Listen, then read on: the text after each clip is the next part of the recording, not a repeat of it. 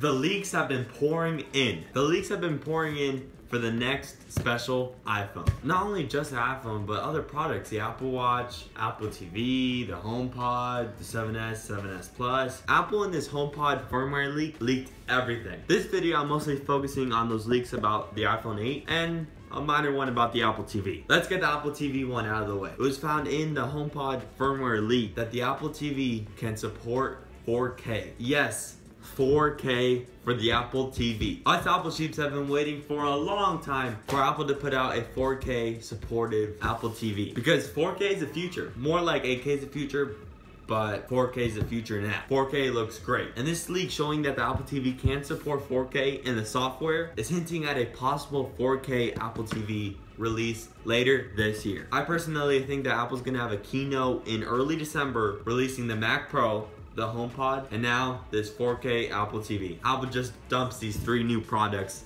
at us right before Christmas shopping time. That's it on the Apple TV. I just said that the Apple TV is gonna support 4K videos, right? Now it's looking like the iPhone 8 is gonna support 4K at 60 frames a second for video. Not only on the back camera, but also on the front. This video right here has 1080 at 60 frames a second. That's why it's so crisp. But if the next iPhone can do 4K at 60 frames a second, that's gonna be amazing. They found in the lines of code that the next iPhone can support 4K at 60 frames a second. But not only on the rear, but also in the front. And just imagine 4K at 60 in the front and back. No other smartphone on the market right now has 4K at 60. That's gonna be a major feature for Apple. We already know that Apple's gonna upgrade the cameras for the iPhone 8, by upgrading it so that it could support support 4K at 60, that's impressive. The other report I want to touch on is that the iPhone 8 or iPhone Edition or iPhone X or whatever Apple's gonna call it is gonna come in three different colors. I'm not talking about the 7S, that's probably gonna come in the same exact colors as the 7. I'm talking about the premium iPhone Edition. The iPhone Edition is gonna come in three different colors. Black, a copper gold like color,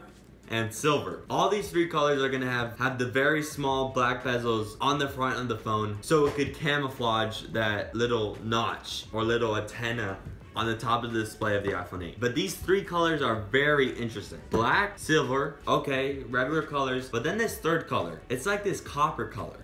It's like copper-like color, just like a penny. Some people hate it, some people love it, and I'm one of those people that love it. It's definitely an interesting color.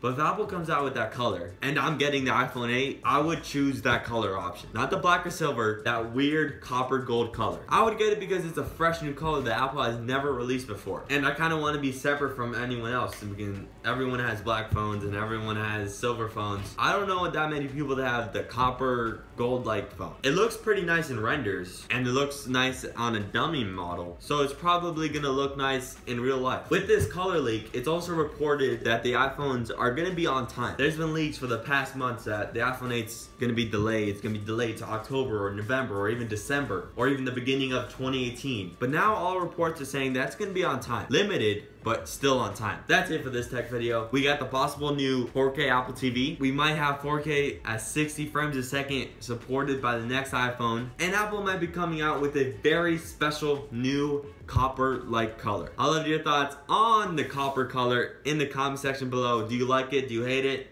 And I'll see you in the next one.